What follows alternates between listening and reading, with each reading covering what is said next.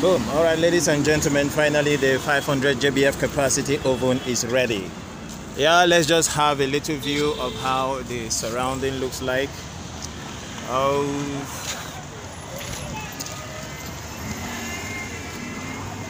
All right, that's exactly how it looks like.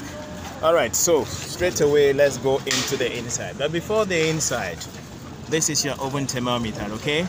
Of course, it's calibrated between um, 0 degrees Celsius down to um, what value do you have here? That should be 300 degrees Celsius, and that's 3600 Fahrenheit. All right, so first you have to get it open from both sides here, and then open from here as well. Sorry for the noise you hear. We are in a very busy place. Boom, ladies and gentlemen, this is the masterpiece. This is 500 capacity JBF oven. This job belongs to Mr. Boniface yeah, Mr. Boniface happens to be very lucky because this is an upgraded version of the 500 capacity JBF oven and this is how the masterpiece looks like. Alright, let's go quickly and review what is there. First, you have your pair of insulated thermal gloves. You find them always available with our oven free of charge. And inside you find a receipt. Oh, it's not in this one. Alright, here is the receipt. So, Mr. Boniface, your receipt is here. Um, this oven is actually going to Enugu first thing tomorrow morning. All right, so this is your receipt, Mr. Boniface. So anytime you harvest your oven at the ABC terminal, you can just pick it from inside this uh, pair of gloves. Hmm? I'll have to put them there so that uh, it can be free from any form of uh, disappearance. All right, so if you check your charcoal collector, they are all mirror stainless material. Then you have another one. What you have here are simply uh, for aesthetic purposes. All you need to do is to take them and feed them at the bottom of the leg and let it stand just to make it look beautiful. Then these are your flame controllers. And what you have here are your valves for your burner. I'm going to show you how to fasten it and how to install it at the end of the day. This is your charcoal collector. There are two of them and they are all made up of mirror stainless material. Then at the bottom you find your cookers. You know, we have two cookers here and each of them are suspended just above ground level. I hope you can see that. Now the reason why it has to be above ground level is to avoid heat conduction. By the time they make direct contact with the oven, the walls of your oven gets hot and at the end of the day, you lose more heat than preserve heat in the oven. So that is the beauty of this. You can actually use the two together or you can use one after another depending on the capacity you want. And it is designed such that you can use your charcoal collectors and your gas burners simultaneously. And that gives you a maximum heating ability. That is one thing you find with the JBF oven which you cannot find somewhere else. And if you see it anywhere, just know that it has been copied from this amazing channel because this is our own intellectual property. All right, next we go to the oil collectors. The oil collectors, they are all made up of mirror stainless material. Now watch, the oil collector is made up of a slot here.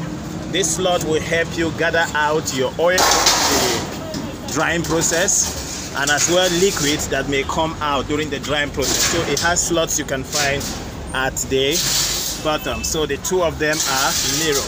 And you see that hole over there?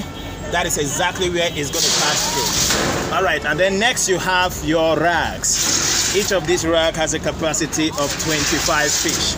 And we have how many? 1, 2, 3, 4, 5, 6, 7, 8, 9, 10 racks. Same here. 1, 2, 3, 4, 5, 6, 7, 8, 9, 10 racks. Making a total of 20 racks.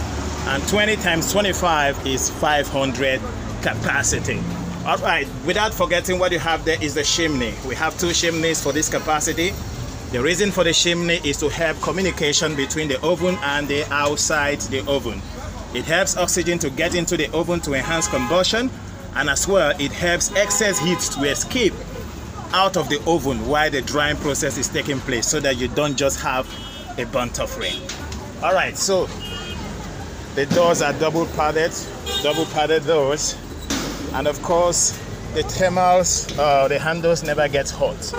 Oh yes, it is designed in such a way that these handles can never get hot, no matter the internal temperature of your oven.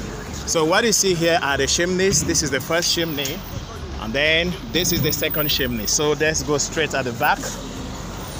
Boom. So now we are at the back. This is the slot where you can gather your oil. You can have a container just here and it gathers it for you. And of course, this is where you control your flame. You slot your flame controller, slot your gas uh, valve, and that will help you control your flame. Remember, if you close this outlet, you see here there's a hole in between. If you close this hole, it gives you blue flame. If you open, it gives you yellow flame. So any of the flames you wish to dry with, you can always make use of. But be rest assured that blue flame burns faster than yellow flame. All right, so that is the outlet for your gas burner. And then this is another outlet for your oil collector. You have two outlets because this is 500 capacity. Any capacity below 500 is just one outlet for the oil collector. All right, ladies and gentlemen, this is the masterpiece, the 500 capacity JBF oven.